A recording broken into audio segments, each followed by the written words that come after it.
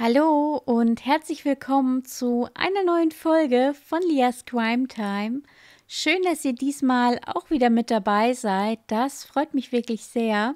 Weiterhin dürft ihr mir gerne Fallvorschläge an meine E-Mail-Adresse oder auch via Instagram schreiben.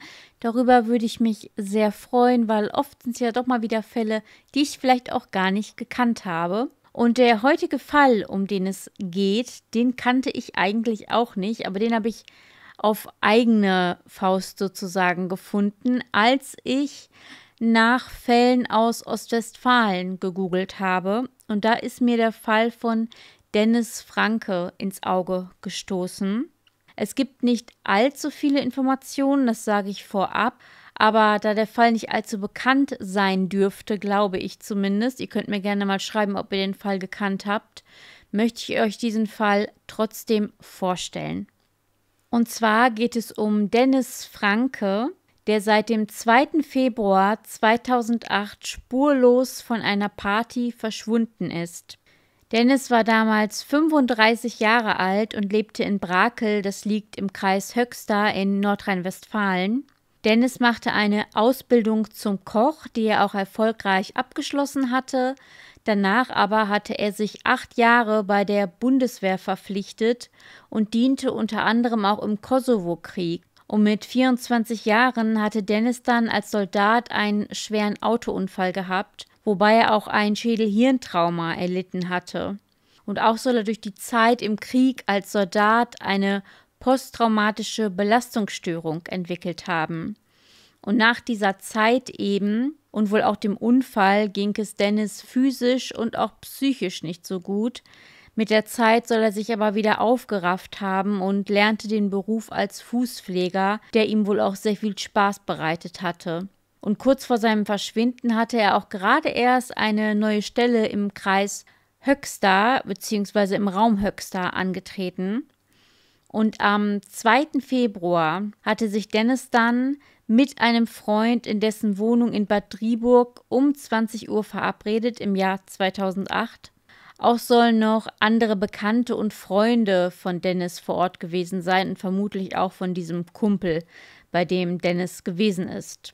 Am Abend wurde dann auch dort noch ein bisschen gefeiert. Das war wohl so eine Art Faschingsfeier, die da ähm, ja veranstaltet wurde. Und wie üblich bei Feierlichkeiten soll natürlich auch Alkohol geflossen sein. Vor allem wohl Schnaps und die Stimmung soll relativ gut gewesen sein. Nach Aussagen der Bekannten der Party, die später natürlich auch zu Zeugen werden, soll Dennis auf dem Sofa eingeschlafen sein und um 22.30 Uhr habe man ihn dann geweckt oder er ist vielleicht sogar selber wach geworden. Später werden Dennis Bekannte sagen, dass er sich komisch verhalten habe. Er sei desorientiert gewesen und dann plötzlich aufgesprungen und habe dann die Wohnung seines Kumpels mehr oder weniger fluchtartig verlassen.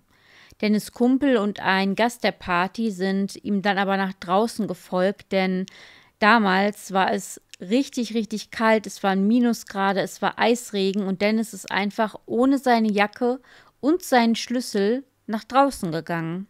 Er habe sich aber auch nicht aufhalten lassen und sei dann zu Fuß auf der langen Straße Richtung Bahnhof oder Kurpark gegangen. Also wo er wirklich hin ist, weiß niemand. Ungewöhnlich war auch, dass Dennis Handy und Portemonnaie zu Hause lagen auf seinem Nachtschrank. Das fand auch sein Vater ein bisschen komisch, weil er das Handy eigentlich immer mitgenommen hätte. Ich denke, das hat man wohl auch 2008 schon so gemacht. Dennis Auto wurde abgestellt bei der benachbarten Volksbank, die sich ebenfalls auf der langen Straße befindet, eher so im Innenstadtbereich. Das Auto wurde aber nicht mehr bewegt, denn der Schlüssel war ja auch in der Wohnung vom Kumpel geblieben. Das, ähm, ja, hätte dann ja höchstens durch die Personen der Party passieren können. Er hat sich auch seit dem Verschwinden weder bei seiner Familie noch bei seiner Arbeitsstelle gemeldet, die er ja gerade erst neu angetreten hatte, noch bei Freunden oder irgendwem. Er ist also sprichwörtlich wie vom Erdboden verschluckt in diese eiskalte Nacht gegangen und nie mehr gesehen worden sozusagen. Und seine Eltern machen sich natürlich große Sorgen um Dennis bis heute. Kurz nach seinem Verschwinden wurde das Gebiet, wo er auch zuletzt gesehen wurde, mit einem Polizeihubschrauber abgeflogen. Auch suchte man mit Polizeibeamten und Spürhunden nach ihm im März 2008. Mehr wurde darüber allerdings nicht berichtet, über eine mögliche letzte Spur zum Beispiel, wo die Hunde vielleicht angeschlagen haben, aber dann eben stehen geblieben sind irgendwann. Aber da steht nichts drüber in der Presse. Auch Dennis Vater stellte auf eigene Faust mehrere Suchaktionen mit Freunden auf die Beine. Diese suchten auch den angrenzenden Wald ab. Dort wurde aber auch noch durch die Kripo damals eine größere Suche gestartet. Aber dabei ist auch nichts rausgekommen, keine Spur von Dennis. Die Zeugen bzw. Bekannten des damaligen Abends wurden natürlich auch befragt, ganz klar. Diese sollen sich wohl aber teils unkooperativ verhalten haben. Mit Dennis Vater sollen die Bekannten von der Party damals den Kontakt auch nicht gesucht haben, sondern eher schon gemieden haben. Sein Vater schließt übrigens einen Suizid oder einen Unfall aus, denn dann hätte man Dennis ja irgendwo finden müssen. Außerdem hat er die Party ohne seine Jacke verlassen bei Eiseskälte und wo wollte er ohne Handy oder Schlüssel hin? Er hat seine eigene Theorie, was an diesem Abend mit seinem Sohn passiert sein könnte. Irgendetwas muss auf der Feier passiert sein. Vielleicht ein Streit, der aus dem Ruder lief und Dennis wurde dabei getötet oder eben in eine Falle gelockt. In einem Interview mit der Neuen Westfälischen aus dem Jahr 2017 beschreibt Dennis Vater Herbert die Situation mittlerweile als blanken Horror. Er sagte, man hat unseren Sohn getötet und uns gleich mit. Trotz dessen, dass der Fall von Dennis ja nicht ganz so bekannt ist, nehme ich jetzt einfach mal an, habe es aber Hinweise in Richtung einer Tötung von ihm gegeben.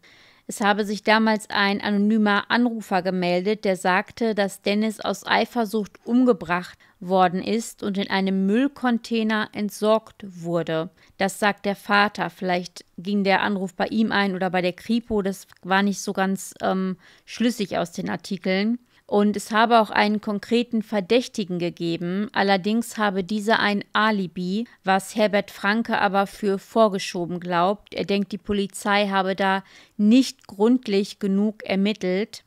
Die Staatsanwaltschaft hat diese Vorwürfe aber zurückgewiesen. Herbert Franke hat aber in den Jahren eben nichts unversucht gelassen, um Neues zu erfahren.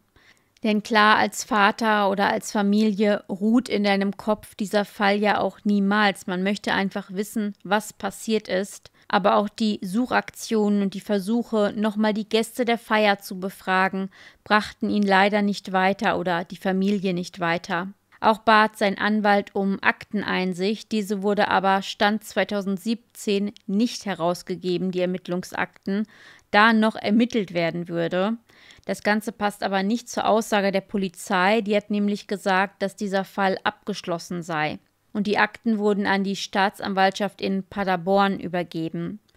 Diese äußerten sich im damaligen Interview so, dass die Akte von Dennis noch nicht geschlossen sei, es werde durchaus noch Hinweisen nachgegangen.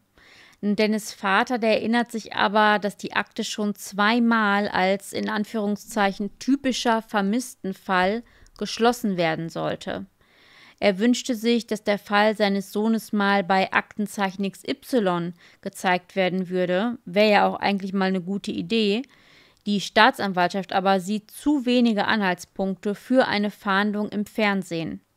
Dennis Vater hat eine Belohnung in Höhe von 5000 Euro ausgelobt für einen eindeutigen Hinweis auf den Verbleib von Dennis. In einem Bericht allerdings gab er an, dass er diese auch auf 10.000 Euro erhöhen wollte. Ob das passiert ist, das weiß ich jetzt nicht, weil es darüber viel zu wenige Berichte gibt. Jetzt kommen wir auch noch mal kurz zu ein paar Daten von Dennis Franke. Er war damals 1,68 groß, also relativ klein für einen Mann, hatte eine sportliche Statur, braune Haare und hat damals beim Verlassen der Wohnung einen weißen Pullover getragen, eine dunkle Jogginghose und hellblaue Sportschuhe. Und großartig mehr Informationen bietet das Internet leider nicht so über den Fall von Dennis. Aber da er nie bei Aktenzeichen XY gezeigt wurde und es da auch nicht gerade viele Presseartikel zu gibt, wollte ich, wie gesagt, diesen Fall unbedingt mal vorstellen. Ich bin mir auch nicht so sicher, welche Meinung ich zu diesem Fall so wirklich haben will bzw. haben soll, ähm, dass Dennis auf der Party wach wurde und ohne Jacke und Schlüssel so einfach in diese Eiseskälte abgehauen ist, lässt irgendwie einen komischen Beigeschmack übrig, wenn ihr mich fragt. Ich weiß nicht, wie es euch dabei geht. Ich denke da an Suizid oder vielleicht ein Verbrechen. Ich denke aber nicht dran, dass Dennis bei dem damaligen Wetter draußen von wildfremden Menschen irgendwie umgebracht wurde. Das halte ich fast für ausgeschlossen.